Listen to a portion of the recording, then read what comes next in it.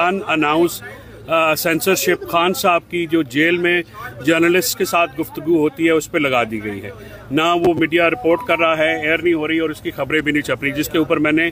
तमाम bureau chiefs को और मैंने एक लेटर ऑफ़ रिक्वेस्ट लिखा है। देखिए आर्टिकल 19 ए के तहत ये अवाम का हक है कि इमरान खान साहब की गुफ्तु उन तक पहुँचे, क्योंकि वो बहुत ज़्यादा एक लार्जेस्ट सेगमेंट ऑफ़ पाकिस्तान की जो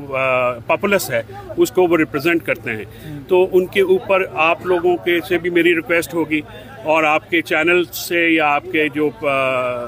जुम्मेदारान हैं उनसे मेरी ये रिक्वेस्ट होगी कि देखिए ये अनअनाउंस सेंसरशिप जो है ये जमहूरियत के लिए भी जहर कातिल है और ये रूल ऑफ़ लॉ की भी खिलाफ वर्जी है आइन की भी खिलाफ वर्जी है तो इसके लिए आप सब तो अपनी आवाज़ आईनी बेंच बन गया मीनुद्दीन साहब की सरबराही में। इस पे आप लोगों का बतौर पीटीआई लायर क्या रिएक्शन देखिए पीटीआई लॉयर का इलेक्शन तो पीटीआई करेंगे, वाले करेंगे, लेकिन छब्बीसवीं तरमीम को हमारी बार्स हैं और हम वकला ने